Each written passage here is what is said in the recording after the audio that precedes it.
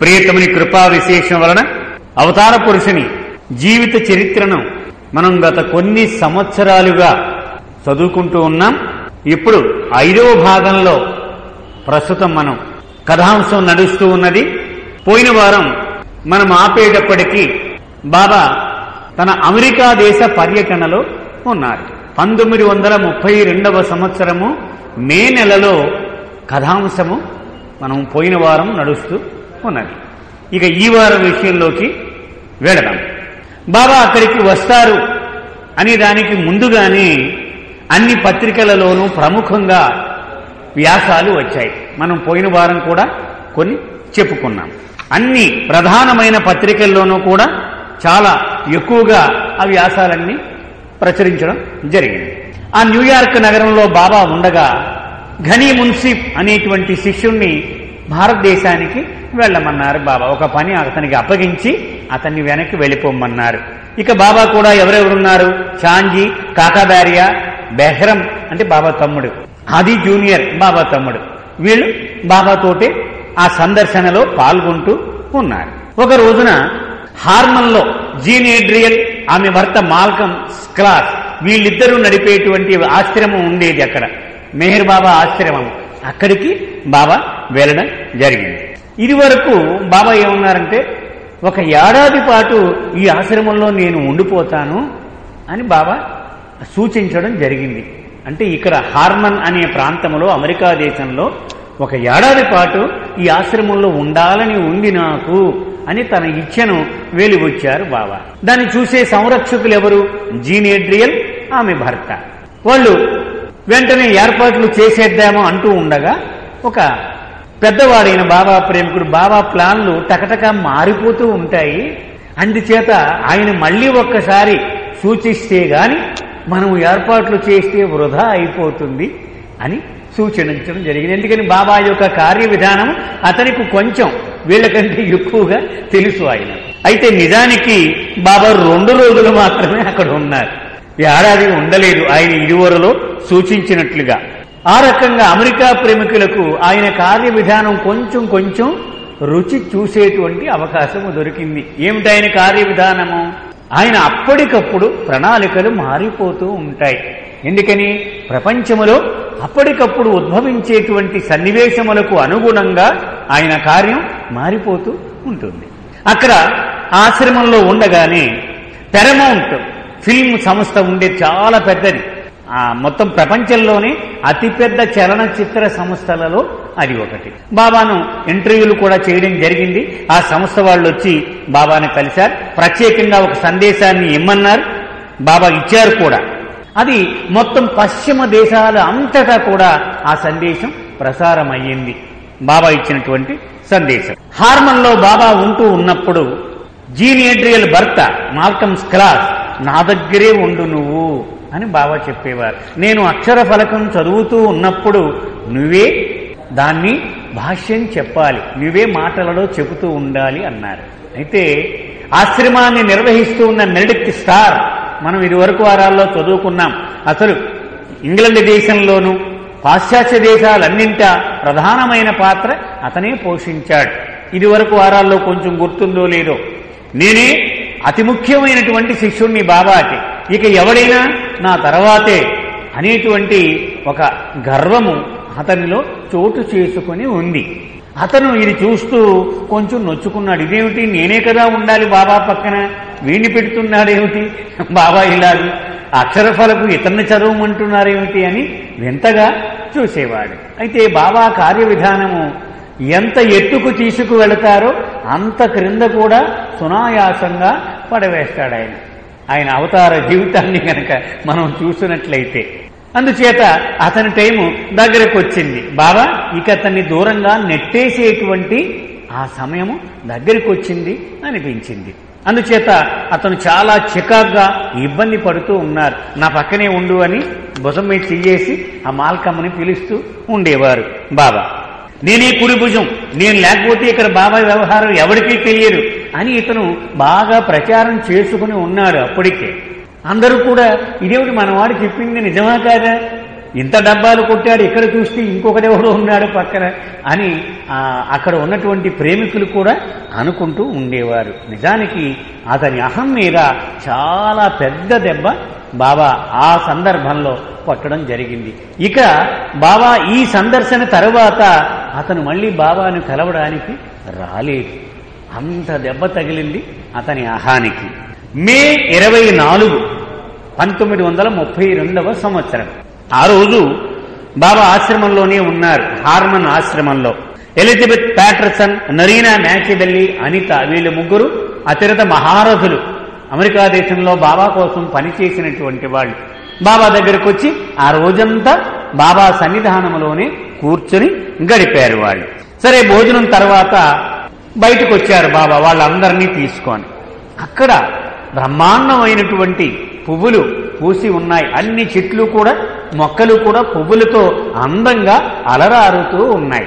సరే కొంతమంది ఆ పువ్వులు కోద్దామని బయటకు వెళ్ళారు. బాబా మాత్రం ఇక్కడే ఉండిపోయారు. బాబా కూడా ఎలిజబెత్ కూడా ఉంది. బాబా ఒక్కడే ఉండిపోయారు కదా అంచేత ఆవిడ కూడా బాబా దగ్గరే ఉండిపోయింది. అప్పుడు ఒక గులాబీ రంగు పువ్వు కోసి ఆవిడ చేతికిచ్చారు బాబా. అక్షర ఫలకంతో కాకాదార్య పక్కన పట్టుకుని ఉన్నాడు. చెప్పు ఈవిడికి అని బాబా అక్షర ఫలకం మీద ఇలా చూపించారు. ఏమన్నారు? ఈ పుష్పాన్ని ఎప్పుడూ నీ దగ్గర ఉండేలా చూసుకో. బాబా ఆర్డర్.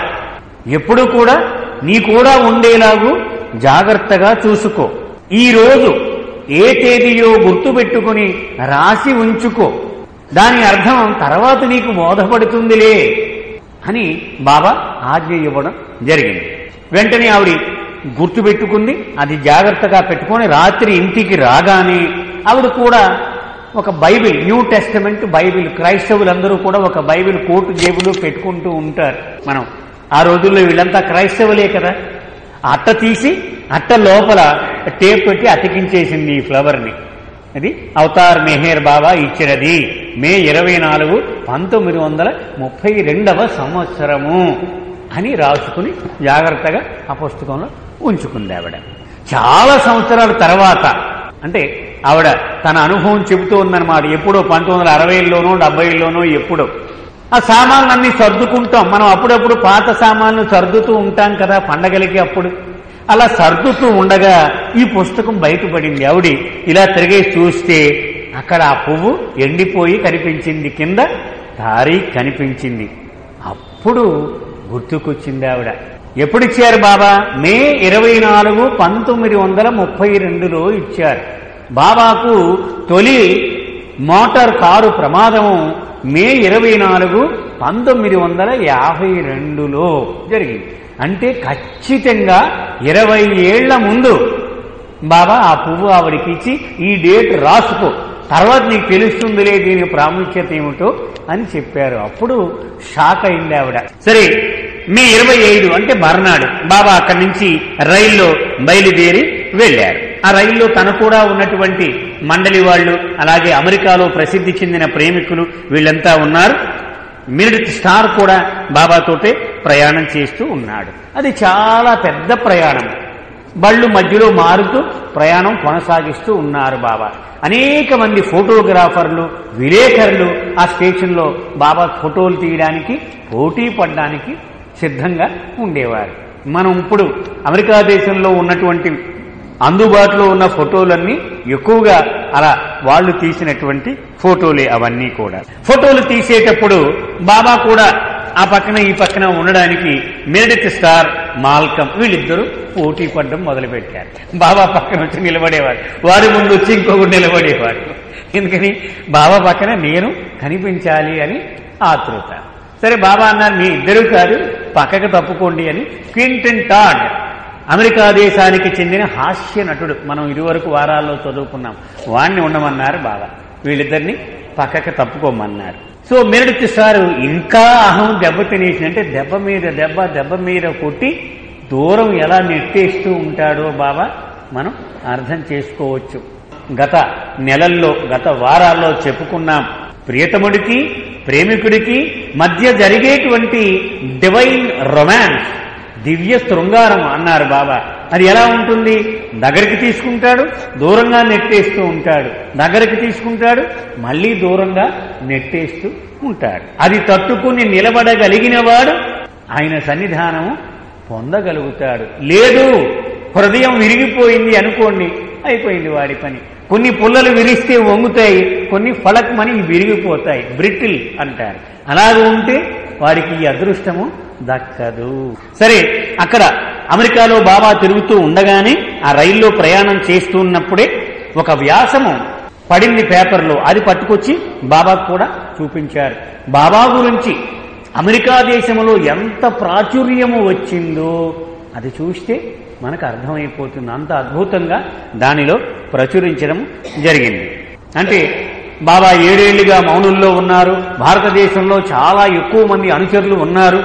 అమెరికా దేశాన్ని ఉద్ధరించడానికి నడుం కట్టి ఆయన వచ్చారు. ఆయన ఇక్కడే మౌనాన్ని విరమణ కూడా చేసేస్తారు. ఇదంతా ఆ వార్తాపత్రికలో ప్రచురించడం జరిగింది. మే ఇరవై తొమ్మిది నాటికి ఈ రైళ్ళన్నీ మారుతూ మారుతూ మారుతూ లాస్ ఏంజలీస్ అనే ప్రాంతానికి చేరారు. లాస్ ఏంజలీస్ అంటే హాలీవుడ్.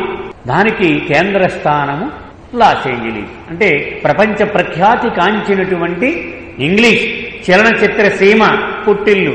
అది హాలీవుడ్. అక్కడికి బాబా చేరుకున్నారు.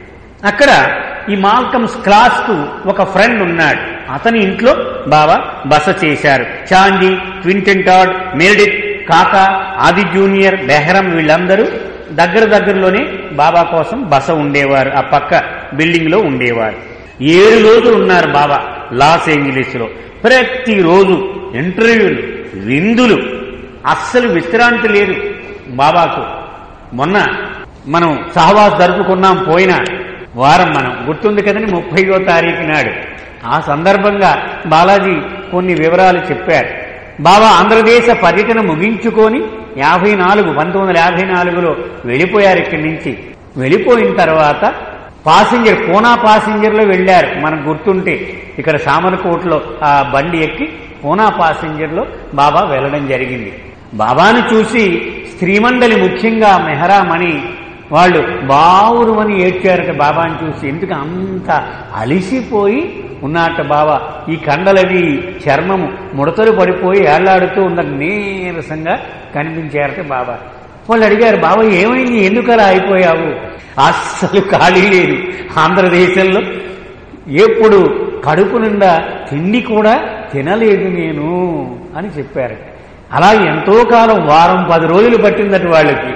వాళ్ళలా ఏడుస్తూనే ఉన్నారట. అప్పుడు ఆంధ్రదేశంలో తీసిన ఫోటోలు ఈ వీడియోలు ఇవన్నీ చూపించి చూశారా? నా వైభవము ఎంత అద్భుతంగా అక్కడ ప్రజలకు అందిందో అని వాళ్ళకు ఊరట కలిగించేలాగు బాబా ఉపశమనం కలిగించారట. అప్పుడు వాళ్ళు మామూలు మనుషులు అయ్యారు అంటే అలాగూ అంతగా ఆయన అలిసిపోతూ ఉంటారు. ఎందుకని? ప్రతి క్షణము ఆయనకు విలువైనదే. ఒక సందర్భంలో బాబా ఇలా చెప్పారు.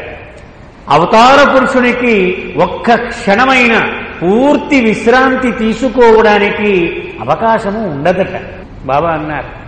ఎందుకని ఒక్క క్షణం కూడా వేస్ట్ చేయడానికి కుదరదు. ఆయన పద్నాలుగు వందల ఏళ్ళ తర్వాత వచ్చాడు. మళ్ళీ ఏడు వందల ఏళ్ళకు వస్తాడు ఆయన.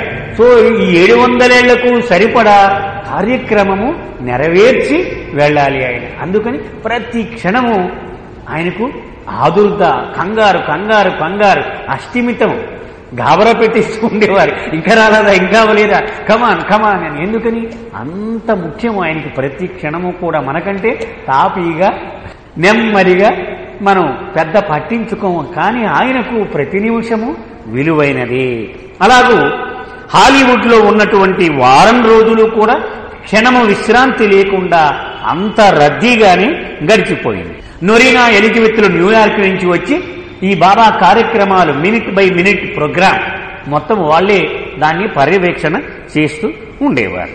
అక్కడ కూడా పత్రికల వాళ్ళందరూ బాబా కోసం ఓ పెద్ద క్యూ కట్టేసి ఉన్నారు. ఎందుకని ఆ రోజుల్లో అప్పటికే ప్రపంచంలో అతి నాగరికత కలిగినటువంటి దేశము అమెరికా. అందుచేత ఈ ప్రెస్ అనేది అతి ప్రాముఖ్యత వహిస్తూ ఉండేది. వచ్చిన రోజుని బాబా మధ్యాహ్నం పత్రికా గోష్ఠి ప్రెస్ మీటింగ్ పెట్టారు బాబా. వాళ్ళందరికీ ఆధ్యాత్మికమైనటువంటి ఒక ముఖ్యమైన సందేశం ఇచ్చారు. దాన్ని క్లుప్తంగా బాబా ఏం చెప్పారు? అనంతమైన చైతన్యము గురించి భగవద్ అనుభూతి గురించి అనేక మంది అనేక రకాలుగా చెబుతూ ఉంటారు. అన్ని విశ్వాసాల్లోనూ అన్ని మతాల్లోనూ అన్ని గ్రంథాల్లోనూ ఒక్కొక్కడు ఒక్కొక్క రకంగా దీన్ని చెబుతూ ఉంటారు అయితే దీనిని ఎలాగ పొందాలి ప్రాక్టికల్గా అంటే ఆచరణ యోగ్యంగా తెలియక ప్రజలు అసలు ఇది సాధ్యమేనా అని దీన్ని పక్కన పెట్టేస్తుంటారు మనకు అవ్వదురా ఇదంతా. ఇది మనకు వీలయ్యేటువంటిది కాదు అని పూర్తిగా విస్మరించే ప్రమాదము ఏర్పడింది ఇప్పుడు ప్రపంచములో. కొంతమంది మేధావులు వాళ్ళ బుద్ధిని ఉపయోగించి పుస్తకాలు కంఠస్థం బట్టి కసరత్తులు చేస్తూ ఉంటారు. కానీ అది అనుభూతి కాదు. ఇది వరకు వారాల్లోనే మనం చెప్పుకున్నాం కూడా బాబా ఏమన్నారు? అసలైనటువంటి అనుభూతి హృదయములో కలగకుండా పురాణాలను పుక్కిట పడితే మేధస్సుతో కంఠస్థం చేస్తే అది వృధా ప్రయాస అని స్పష్టముగా బాబా పదే పదే చెప్తూ ఉండేవారు. అలాగూ ఊరికే పుస్తకాలు చదివి ఇది ఇదన్నమాట ఇది ఇదన్నమాట అనుకొని మనం అనుకుంటే అది ఏమీ ఉపకరించదు. అది నిజమైన అనుభూతి కావాలి అని మీకు నిజం చెప్తున్నాను బాబా అంటూ ఉన్నారు. ఈ ఉత్కృష్టమైన చైతన్యము ప్రతివాడిలోనూ ఉంది. ఇది ఎక్కడో బయట లేదు. నీలో ఉంది నీలో ఉంది నీలో ఉంది. కానీ అది దాగి ఉంది. బయటకు రావాలి. అదొక్కటే కావలసిన విషయము. అందుకని బాబా చెప్తున్నారు. ప్రపంచంకి అది అమలుపరచాలి అంటే ఆచరణ యోగ్యంగా ఉండాలి. సంఘానికి ఉరిశిక్ష వేసి అంటే అది ఎలా చేస్తాం అది? ఆచరణ యోగ్యం కాదు. అందుకని అది వీడు అర్థం చేసుకుని అమలు పరచడానికి వీలుగా ఉండేలా ఉంటే అది వారికి ఉపయోగపడుతుంది. బాబా అంటున్నారు. ప్రపంచములో ఇప్పుడు ఉన్నటువంటి పరిస్థితులకు అనుగుణంగా అది అర్థం చేసుకునేలాగా ఉండాలి. అప్పుడు వాడికి ఉత్సాహం ఉంటుంది. "ఆ, కరెక్ట్. ఇది బాగుంది అని అనిపించాలి వాడికి వినగానే. చర్చిల్లోనూ పూజా మందిరాల్లోనూ పూజారులు ఏర్పరిచిన కర్మకాండలు ఆచార వ్యవహారములు ఇవన్నీ ఆధ్యాత్మికతను ఇంకా పొడి పొడిగా తయారు చేసేసినాయి ఎందుకని? వాడు మధ్యవర్తిగా దూరిపోయి మీ పేరు చెప్పండి అని భగవంతుడితో చెప్తూ ఉంటాడు. బలారా ప్రసాదరావు నీకు పూజిస్తున్నాడు. అని. అంటే ఇలాగూ మనకు అందకుండా దూరము దూరము దూరము చేసేశారు. అందుచేత ఆచరణ యోగ్యము కాకుండా అయిపోయింది ఇప్పుడు ప్రపంచంలో ఉన్నటువంటి ఆధ్యాత్మికత అంతా కూడా. ఆధ్యాత్మికతకు పుట్టినిల్లైన భారతదేశము కూడా దీనికి మినహాయింపు కాకుండా అయిపోయింది.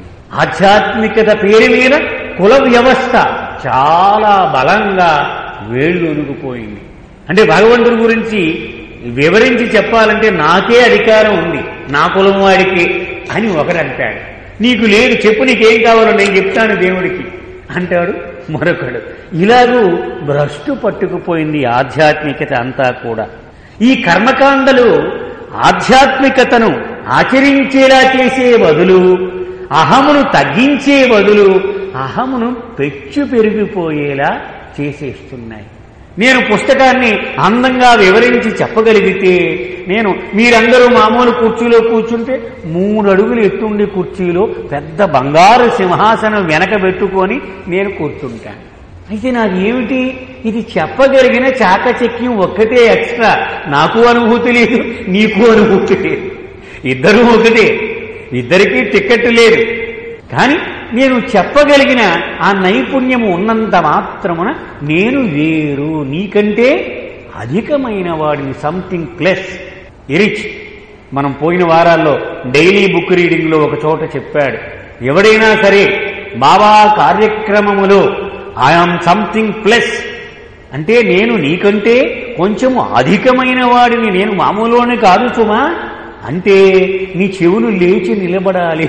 కుక్కకు దొంగను చూడగానే ఇలా చూస్తుంది అది చెవులు ఇలా పైకి నిలబెట్టి అలాగూ అమ్మో వీడు ప్రమాదము మనకి వద్దు అని నీ హృదయం నీకు చెప్పేలాగూ నీవు అభ్యాసము చెయ్యాలి. ఎందుకని? ఎవడికీ లేదు. అటువంటి అధికారం ఒక్క ప్రభువుకే ఆ అధికారము ఉన్నది అని మన నర నరాన జీర్ణించుకుపోవాలి. అదే విషయం బాబా ఇక్కడ చెప్తూ ఉన్నారు.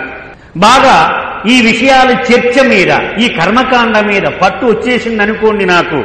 నేను చెప్పేదే కరెక్ట్. మీకంతా తప్పు మీకెవరికి ఏమీ తెలియదు. అని వాడు ఘంటాపదంగా ఇలా చేయి ఇలా చేయకు అని దిశానిర్దేశం చేసేస్తూ ఉంటాడు. కానీ వాడికి కొంచెము ఇక్కడ అబ్బిందంటే ఇక్కడ మాత్రం ఇంకా వాడికి ఏమీ అవ్వలేదు ఆ రకంగా ఈ కర్మకాండలు ఆచార వ్యవహారములు అహము పెరగడానికి దోహదపడుతూ ఉన్నాయి. అలాగే క్రైస్ట్ ఏం చెప్పాడు? ఒక చెంప మీద కొడితే ఒక చెంప నెయ్యు అన్నాడు. అదే కదా మనం చదువుకుంటాం క్రైస్ట్. కానీ మరి ఈ క్రైస్తవులంతా ఏం చేస్తున్నారు? ప్రతివాడు వాడు కోటి జేబులో ఒక తుపాకి పెట్టుకుని వెళుతూ ఉంటాడు. ఎవడైనా ఏదైనా చేస్తే వాడిని కాల్చి వారేస్తాడు. మరి ఏం చెప్పాడు క్రైస్ట్ నీవు క్రైస్తవ మతాన్ని ఆచరిస్తూ నువ్వు చేస్తున్నది ఏమిటి?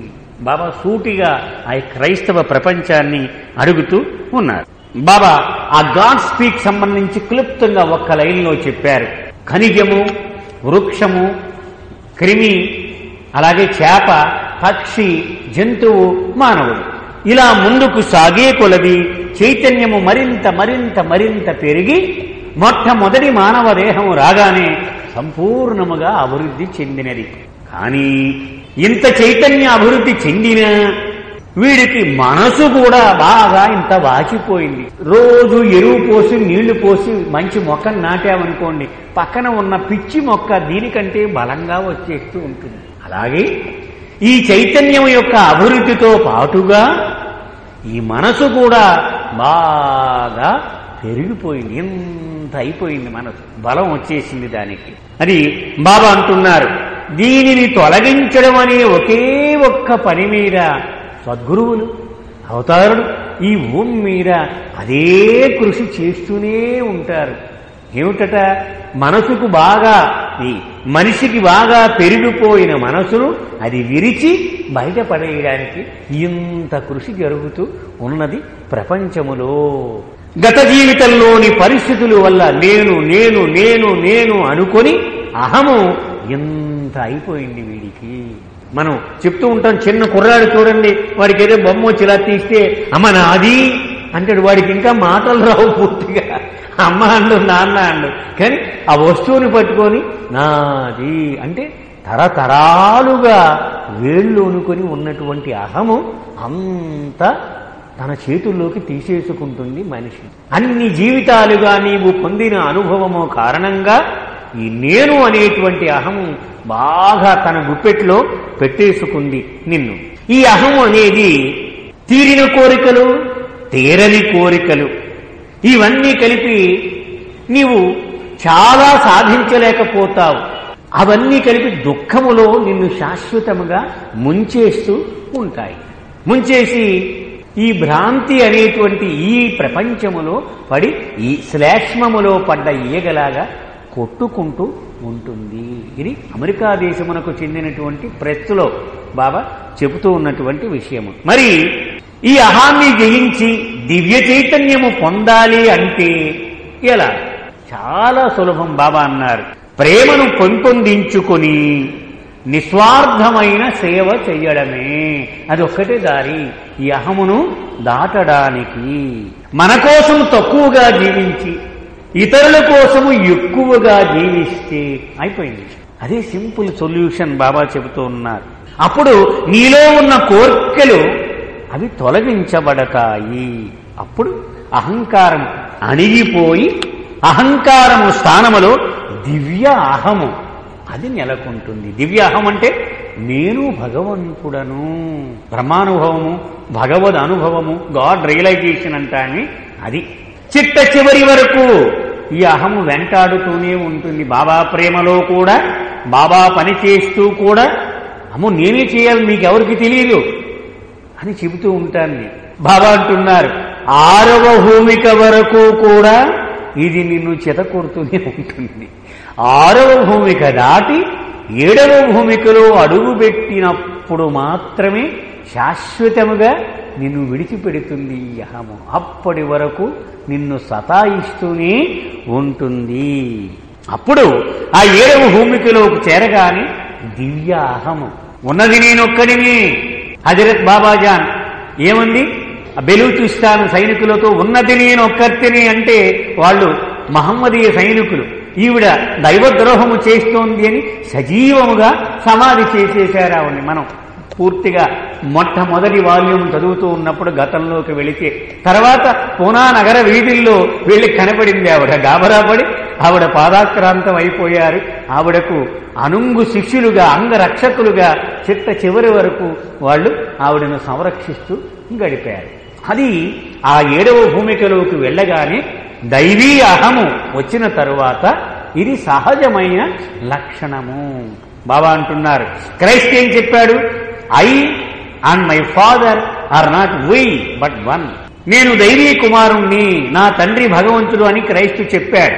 కానీ నాకు నా దైవమునకు భేదమే లేదు. మీ ఇద్దరం కలిసి మనము కాదు ఒక్కటే మేమిద్దరం అని చెప్పేవాడు.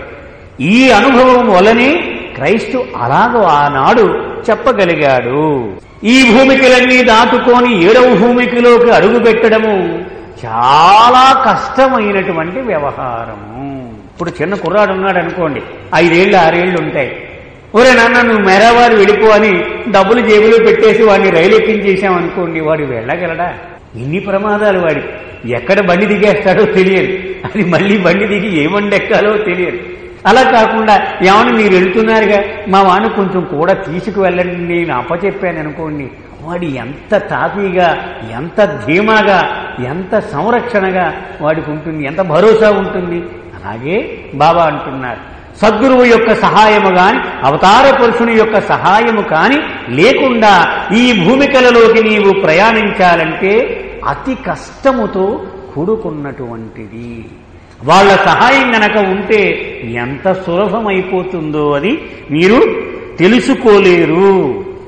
ఎప్పుడు కూడా ఆయన ఆజ్ఞకు కట్టుబడి దండ కట్టుకొని ఆయన పాదాల దగ్గర ఉంటే అయిపోయింది నీ ప్రయాణం.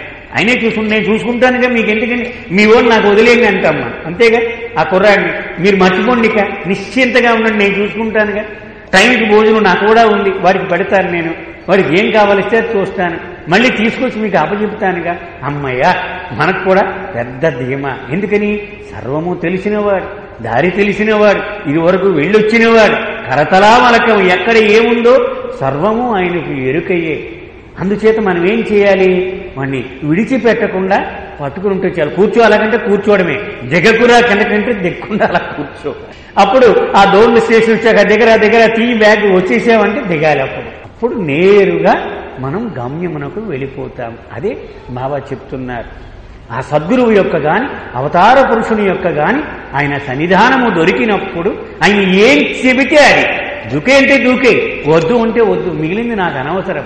అని గనక నీవు సిద్ధముగా ఉంటే చిటికలో ఎంత సులువైపోతుంది ప్రయాణం. అలా కాలుని కాలేసుకొని ఆ కుర్చీలో కూర్చొని అక్కడ మనం దిగడమే ఇంకేం పని లేదు మనకి ఆయనే చూసుకుంటాడు అంత. అంత సులభం అయిపోతుంది నీ ప్రయాణము. బాబా చెప్తూ ఉన్నారు ఆ ప్రెస్ కాన్ఫరెన్స్లో. ఇంటర్నెట్లో ప్రతి కంప్యూటర్కు ఆ సర్వర్ ఎలాగైతే అనుసంధానము కలిగి ఉంటుందో అలాగూ సద్గురువు యొక్క విశ్వాత్మకమైన మనసు యూనివర్సల్ మైండ్ అన్నారు బాబా.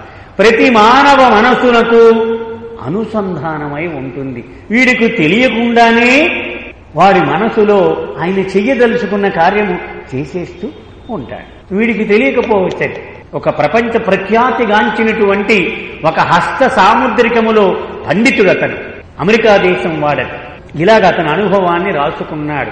పంతొమ్మిది వందల అరవై తొమ్మిదవ సంవత్సరము అప్పటి నుంచి అప్పుడు పుట్టిన వాళ్ళ చేతిలో కొత్త రేఖ ఒకటి కనబడుతూ ఉన్నది. అంటే పంతొమ్మిది వందల అరవై తొమ్మిది జనవరి మాసము నుండి పుట్టిన వాళ్ళందరి చేతిలో ఇప్పటి వరకు లేని ఒక కొత్త రేఖ కనబడుతూ ఉంది. అది ఏమిటో నాకు అర్థం కావటం లేదు. కానీ దాని పేరు లైన్ ఆఫ్ కాన్షియస్నెస్. అంటే చైతన్య రేఖ అని పేరు పెట్టారు. ఆ మేధావులందరూ కలిసి. అంటే ఏమైంది? అరవై తొమ్మిది జనవరిలో అవతార పురుషుడు దేహమును విసర్జించాడు. అది ఇక్కడ బాబా చెబుతూ ఉన్నారు. విశ్వాత్మకమైన మనసు ఉండడము ద్వారా మనిషికి తెలిసినా తెలియకపోయినా వాడి మనస్సులో ఆయన చెయ్యవలసిన కార్యక్రమం యొక్క ప్రయోజనము చేకూరి తీరుతుంది. ఆయన కార్యక్రమం ఫలితం ఎలా ఉంటుందట? విశ్వములో ఉన్న ప్రతి అణువును ఆధ్యాత్మికంగా ముందుకు నెట్టగలడు. అంటే ఒక మెట్టు ఎక్కించేస్తాడు ఆయన. ఆయన వచ్చినప్పుడు ఒక మెట్టు తోసేసి వెళ్ళిపోతాడు. ఆధ్యాత్మికంగా ముందడుగును ప్రసాదిస్తాడు. అంతేకాకుండా ఆయనను ఆశ్రయించిన వాళ్ళకి ఆయన్ని ఖాతరు చేసి ఆయనను గుర్తించి ఆయనను అనుసరించిన వాళ్ళకు చెయ్యి పట్టుకొని సత్యము వైపునకు నడిపించుకు వెళతాను. క్లుప్తంగా ఇది నేను చేసే సాయము ప్రపంచానికి రాయండి మీరంతా అన్నాడు ఆయన ఎందుకు వచ్చాడయ్యా మెహర్ బాబా అంటే ఇది కారణం. ఇది ప్రపంచానికి తెలియచేయండి ఇది నేను చేసేటువంటి సహాయం. అంటే మొత్తం ప్రపంచానికి ఒకలాంటి సహాయము నన్ను అనుసరించి నన్ను గుర్తించిన వాడికి వేరొక సహాయం. ఇది నేను అందచేస్తాను అని ప్రెస్లో బాబా ఆ రోజు చెప్పడం జరిగింది. బాబా కూడా క్వింటిన్ టాడ్ అతను చాలా ప్రముఖ నటుడు. ఇప్పుడు బ్రహ్మానందం ఎలాగ మనకు తెలుగు సినిమా ఫీల్డ్లో? అతనితో ఉంటే అందరూ వచ్చి మనని ఎలా పలకరిస్తారు? అలాగూ ఈ క్వింటన్ టాడ్ బాబా కూడా ఉన్నాడు. అందుకని అనేక మంది ఆ సెట్లలో ఎవరెవరైతే పెద్ద పెద్ద నటులు వాళ్ళందరినీ బాబా దగ్గర తీసుకొచ్చి పరిచయం చేసేవాడు అతను. ఒకరోజు బాబా అన్నారు ఇక నిద్రకు ఉపక్రమిస్తూ ఉండగా నాకు చిరాగ్గా ఉంటుంది ఇక్కడ సంతోషంగా లేదు అయి ఈ గదిలో పడుకోవడం అన్నారు బాబా. ఎందుకని? ఆ మిరిడిత్ స్టార్ అనేవాడు బలవంతంగా అక్కడ మంచం మీద తన సూట్ కేసు పెట్టేసుకొని అక్కడే పడుకోవడం మొదలు పెట్టాడు నేను బాబా రూమ్లో పడుకోవాలి. నేను ఎక్కడో పడుకుంటే ఎలా కుదురుతుంది? బాబా కుదరదు. అని వాడు బాబా రూమ్లో దూరాడు. అది చాలా చికాగ్గా ఉండేది బాబాకు. ఎక్కడైనా సరే అహము బాగా ప్రకోపిస్తూ ఉన్నప్పుడు ఆయనకి ఇష్టం ఉండదు. ఎవడైనా కావచ్చు వాడు. ఎంత గొప్పవాడైనా సరే. అందుకే ఎరిక్ ఒక చోట చెప్పాడు Baba does not need perfect masters around him he need perfect slaves around him అతని చుట్టూ జ్ఞానముతో ఇంత వాచిపోయిన ముర్రలు కలిగిన గురువులు అక్కర్లేదు ఆయనకి. ఇలా చేతులు వంచి శిరస్సు వహించే బానిసలు వాళ్ళంటేనే ఇష్టం ఆయనకి. వాళ్ళే కావాలి తన చుట్టూ. అబ్బో నాకు తెలిసింది మీకెవరకు తెలియదనేవాడు సహచర్యము బావాకు కిట్టదు ఇష్టం ఉండదు. ఎందుకని ఆయనతో ఎవడినైనా పోల్చగలమా? హనుమంతుడు ముందు కుప్పిగంతులు అంటూ ఉంటామే. అలాగూ ఆయన ముందు మన జ్ఞానము గురించి ప్రస్తావించడము ఆయనకి ఇష్టం ఉండదు. అందుచేత బాబా చెప్పారు చాలా చికాగ్గా ఉంది నిద్ర పట్టడం లేదు ఈ గదిలో నాకు అన్నారు అని సరే నేనే చూసుకుంటాలే అదంతా అన్నారు. మర్నాడు మెరడికి సార్ని పిలిచారు. ఏమోయ్ నువ్వు ఆధ్యాత్మికంగా చాలా శ్రద్ధ ఆసక్తి ఉంది. ఈ సినిమా ఫీల్డ్ చెత్త ఇదంతా.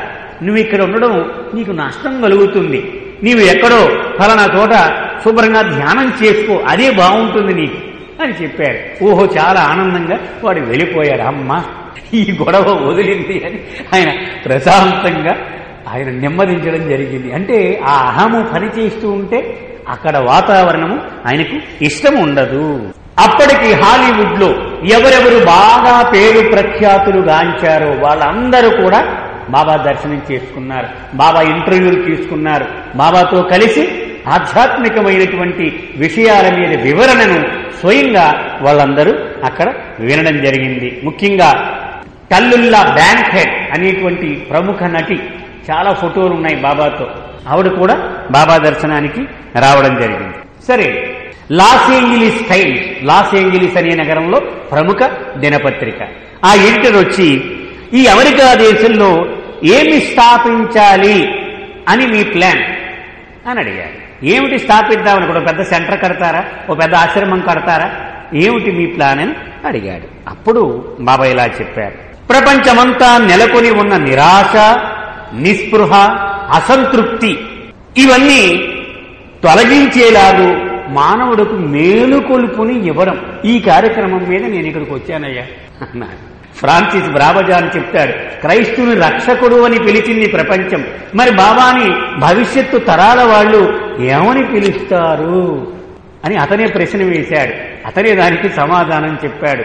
జాగృతికర్త ది అవేకనర్. అంటే అజ్ఞానం అనే గాఢమైన నిద్రలో ఉన్న మానవాళిని సత్యములోనికి మేలుకొలిపేటువంటి జాగృతికర్త అంటే నిద్రలో నేను లేవయ్యా లేవయ్యా అని లేపేవాడు. ఒకసారి బాబా ఎదురుగా ఒక పాట పాడుతూ ఉన్నారు. మనం పాడుతూ ఉంటాం కదా ఇలా. మేలుకో మేలుకో మేలుకో అని పాడుతున్నారు. బాబా ఆగమన్నాడు అసలు మొత్తం విశ్వంలో మేలుకుని ఉన్నది నేను ఒక్కడినే. మీరందరూ నిద్రలో ఉన్నారు. నన్ను మెలుకోమని పాడతావు ఏమిట్రా బాబు అన్న. అలాగే ఆయన ఒక్కడే మెలుకుగా ఉన్నవాడు. మనందరము గాఢమైన నిద్రలో మునిగి ఉన్నవాళ్ళం. అందుచేత ఆయన మనల్ని మేలుకొల్పడానికి వచ్చాడు. ఇది ఈ అమెరికా దేశములో నేను సంకల్పించినటువంటి కార్యక్రమం ఇది. మిమ్మల్ని అందరినీ సత్యము వైపునకు మేలుకొల్పడమే. అక్కడ ప్రేమ విందులు అని బాబాతో కలిసి ఆ నటులందరూ ఎన్నో సందర్భాల్లో అక్కడ విందులు ఏర్పాటు చేశారు. వాటికి ఆధ్యాత్మిక విందు లేక ప్రేమ విందు అని పేరు పెట్టి అక్కడ లేబుల్ పెట్టేవారు. అందరూ దానిలో పాల్గొంటూ ఉండేవారు. బాబా పాదాల దగ్గర ఈ పాశ్చాత్య ప్రేమికులందరూ కూర్చుని ఉండేవారు ఈ హాలీవుడ్ నటులంతా బాబా వెనుక నిలబడి ఫోటోలు తీయించుకుంటూ ఉండేవారు. వాళ్ళందరి యొక్క అనుభవాలను బాబూజీ సేకరించి క్లుప్తంగా చెప్పుకుందామంటే ఆ వచ్చినటువంటి ఈ హాలీవుడ్ ప్రముఖులు వాళ్ళ స్పందన ఏమిటి? బాబాను చూసి. వాళ్ళు స్పందనలు ఒక్కొక్కడిది ఒక్కొక్క తీరుగా ఉంది. ఈ రోజు క్రీస్తు గనక జీవించి ఉంటే ఈయనే ఇంక ఇందులో అనుమానం ఏమీ లేదు అలాగే ఉంటాడు అని ఒకడనేవాడు. ఎంత కాంతి ఆయన మొహంలో. ఈ భూమికి చెందిన మనిషి మాత్రం కాదు భాస్కర్ రాజు గారు అంటారే పరదేశి ఒకడు. భయపడ పిలుచేర్చేదని అంటే పరదేశి. మనమందరూ మాయాలోకంలో ఉండేవాళ్ళము. ఆయన సత్యలోకంలో ఉండేవాడు. అందుచేత పరదేశి ఎ స్ట్రేంజర్. ఎందుకని స్ట్రేంజర్? ఈ మాయలో ఆయన నివసించేవాడు కాదు సత్యము తెలిసినటువంటి వాడు. అలాగే ఇలాంటి అందము ఏ మానవుడికైనా ఉండడం మీరు ఎప్పుడైనా చూశారా అని వాళ్ళలో వాళ్ళు ప్రశ్నించుకుంటూ ఉండేవారట. బయటికి తోసేస్తున్నారు ఇంకా ఉండాలని ఉందా? ఇక్కడి నుంచి వెళ్ళాలని నాకు లేదు చుమా అని కొంతమంది అంటూ ఉండేవారు. ఇంకా ఆయన మొహంలోనే చూడాలని ఉంది. జీవితంలో దైవము గురించి వినడము బొమ్మను చూడడమే ఇప్పటి వరకు. కానీ తొలిసారి దైవమును దర్శించుకున్నాను అనే అనుభవము ఈవేళే నాకు కలిగింది అని కొంతమంది బాబాను చూడగానే వాళ్ళు చెబుతూ ఉండేవారు. ఆయన గురించి ఈ ప్రెస్ వాళ్ళు అడిగితే మాటలు రావటం లేదు నాకు. మాటలు చాలవు. ఈ అనుభవాన్ని వర్ణించడానికి. నీకు కావాలంటే లోపలికి వచ్చి ఒకసారి ఆయన మొహం చూడు. అంతే. మాటల్లో చెప్పలేనిది. ఆయనను దర్శనం చేసుకున్న తర్వాత నాకు కలిగిన అనుభవము. ఆయన స్పర్శ విద్యుత్తులాగా షాక్ తగిలేది అని కొంతమంది చెప్పారు. ఈ రూపం చూడగానే విస్మయము. అంటే ఏమిటి పరిస్థితి? వారు ఎక్కడున్నాను? ఏమిటి చేస్తూ ఉన్నాను? ఇవన్నీ మరిచిపోయిన పరిస్థితి అని ఇలాగ వాళ్ళు అనుభవాలన్నీ కూడా ఈ ప్రెస్ వాళ్ళకు చెప్పారు. బాబాకు రెండు గంటల సమయం పట్టింది ఆయన. వీళ్ళందరికీ షేక్ హ్యాండ్స్ ఇచ్చేప్పటికీ అంతమంది హాజరవుతూ ఉండేవారు. రెండేసి గంటల సమయం పడుతూ ఉండేది. ఒక ప్రెస్ కాన్ఫరెన్స్ జరుగుతూ ఉంటే మరొక సందర్భంలో బాబా ఇలా చెప్పారు. అమెరికా దేశంలో మేము ఎదుర్కొనేటువంటి సమస్యల పరిష్కారానికి ఏం మంత్రం తీసుకొచ్చారు మీరు? అని అడుగుతున్నారు మీరు అందరూ చాలా చోట్ల అమెరికా దేశంలో నాకు ఎప్పుడూ అనుభవం ఏముంది మీ దగ్గర పరిష్కారం? అని మాకు నేరాలు. అంతేకా ఒకరినొకరు చంపేసుకోవడం ఆత్మహత్యలు మద్యపానము నీతి నియమాలు లేనిటువంటి విచ్చలవిడి జీవితము. ఇవన్నీ మేము బయటపడాలంటే ఏమిటి మీరు తెచ్చిన మంత్రము అని నన్ను అడుగుతూ ఉంటారు. దీనికి చాలా సులభమైన సమాధానం ఉంది నా దగ్గర. కానీ అది అర్థం చేసుకోవడము చాలా కష్టము. ఎందుకు ఈ కష్టమంతా? ఏమిటి దీనికి? పరిష్కారము అంటే అప్పుడు బాబా సీక్రెట్ ఇలా చెప్పారు. స్వలాభము. స్వలాభం అంటే అయితే నాకేమిటి? మనం చూడండి సినిమాల్లో టీవీలో చూస్తూ ఉంటాం. ఏదన్నా ఫలానా చేయబోయా అంటే అయితే నాకేమిటి? అంటే నాకు ఏమిటి? The root cause of all suffering either individual or social ఈ సెల్ఫ్ ఇంట్రెస్ట్ అది బాబా వర్డింగ్. వ్యక్తిగతమైన సమస్య కానీ సామాజికమైన సమస్యకు కానీ మూల కారణము ఒక్కటే. నేనే బాగుపడాలి. నువ్వేమైపోతే నాకు అనవసరం. పది కుర్చీలు ఉన్నాయి. లోపల నుంచి అందరూ రండి కూర్చున్నాను పరిగెత్తుకెళ్ళిపోయి ఖర్చీ పెట్టేస్తాను అక్కడ. బాబా దగ్గర కూడా అంతే మేరాబాద్లో కూడా మనం అదే చేస్తూ ఉంటాం. అరే ముసలాడు ఉన్నాడు ఎనభై ఏళ్ళు వాడు తొంభై ఏళ్ళు వాడు ఆయన పిలిచి కూర్చోమనొచ్చు కదా ఉండదు. మొత్తం ఐదు కుర్చీలు పెద్ద కవులు పట్టురారా మన వాళ్ళు ఐదుగురు ఉన్నారని అక్కడ వేసేస్తూ ఉంటాం. ఇది బాబా చెప్పింది స్వలాభం సెల్ఫ్ ఇంట్రెస్ట్. నేనే బాగుండాలి. మిగిలినది వచ్చే వారం చెప్పుకున్నాను అవతార్ మెహేర్ బాబా జై